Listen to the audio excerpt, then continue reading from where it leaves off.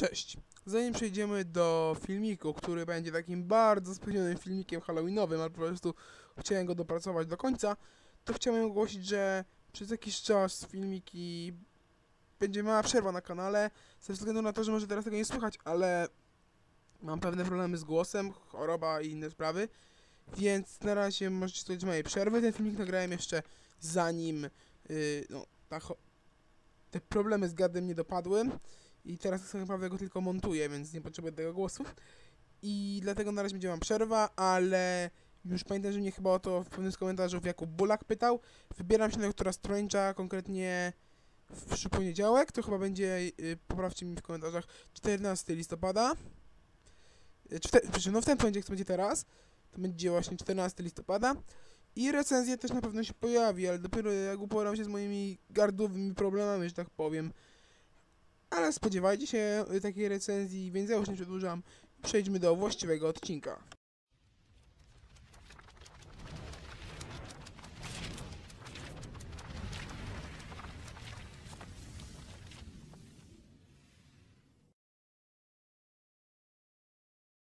Cześć! Halloween już dawno za nami, ale ja chciałem jeszcze wam zaprezentować filmik, który już nie do końca jest halloweenowy, ale w sumie Halloween można gadać cały czas, więc y, w dzisiejszym odcinku y, przedstawię wam top 5 najbardziej strasznych postaci w popkulturze, ogólnie w fantasy i science fiction, tak powiem. Top 5 najstraszniejszych postaci w fantasy i science fiction.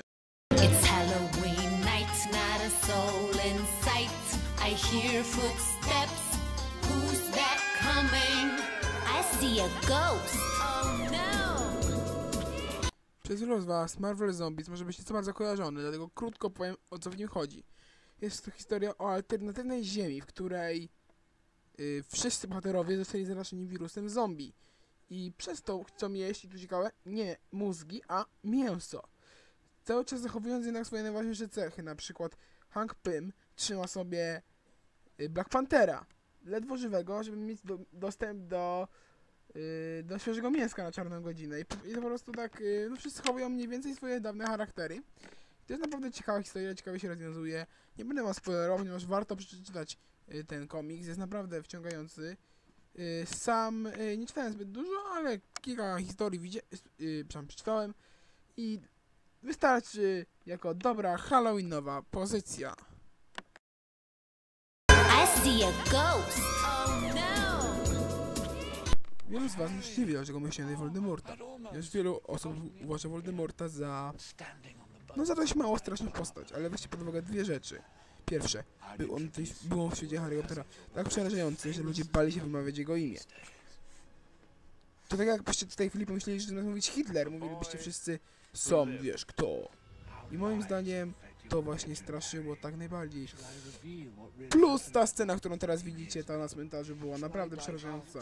Może nie przerażająca, ale była naprawdę niepokojąca i naprawdę mi się podobała, dlatego Voldemort zasługuje na miejsce na tej liście. Chociażby to czwarte miejsce. Sweet Lily Potter gave her life for her only son. She provided the ultimate protection. I see a ghost.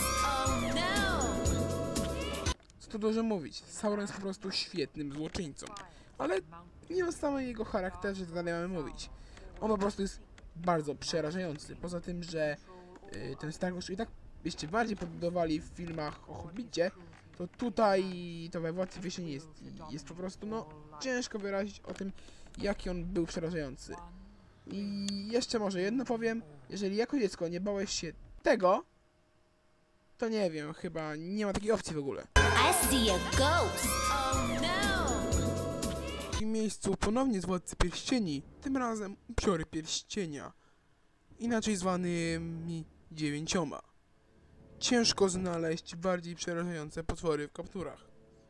No dobra, są jedne, ale do tego na pierwszym miejscu dojdziemy.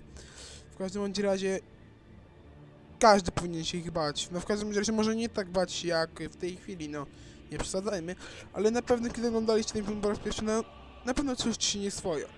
Moim zdaniem jedynym minusem jest to, jak wyglądają yy, po zdjęciu tego całego, jak się nazywa, przepraszam, po zdjęciu, yy, nie, nie zdjęciu, najgorzej wyglądają po tym, jak Frodo nałoży pierścień. Po prostu wtedy te takie białe stwory dziwacznie wyglądają. Wtedy jakoś mi się nie bardzo podobają.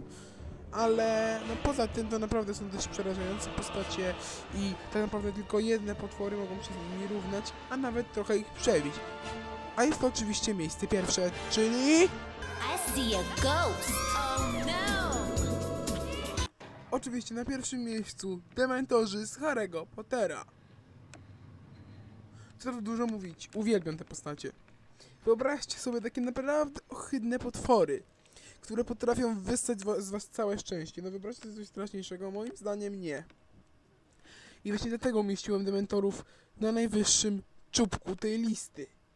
Może nie są aż tak przerażający jak upiory pierścienia, nie wiem, ale sam ten fakt, że oni że one wysysają szczęście człowieka. Nie wiem jak wy, ale ja nie, nie wyobrażam sobie tego straszniejszego. Ja strasznie nie lubię być szczęśliwym i nie wyobrażam sobie, żeby ktoś jakieś szczęście na mnie wystać. Dlatego tak mnie przerażały. Plus, coś czego nie mieliśmy ani razu w filmach, w czwartej części w książkach wyssali z Bartiego Croucha całkowicie życie, przecież został się taką roślinką. To właśnie, to jest najlepsze, że oni wysysają duszę, przynajmniej duszę, życie. To jest najlepsze, że, że jak użyją tego swojego pocałunku Dementora, to wtedy po prostu, no to jest wtedy kaput, koniec, amen. Nie żyjcie. I to jest po prostu wspaniałe, że po prostu ty żyjesz, jakby żyjesz dalej.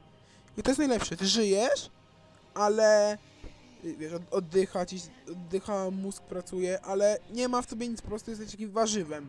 I to jest jak śpiączka mniej więcej. To jest po prostu, tylko że z tego się już nie da wybudzić. I to jest po prostu wspaniałe, bo dusza jest stracona. Znaczy wspaniałe, bardzo przerażające, użyłem złego słowa. Dlatego dementorzy zasługują na pierwsze miejsce na tej liście. Zapomniałem o czymś? A może według was ta lista powinna wyglądać zupełnie inaczej? Nie bójcie się i napiszcie o tym w komentarzach. I oczywiście wesołego Halloween!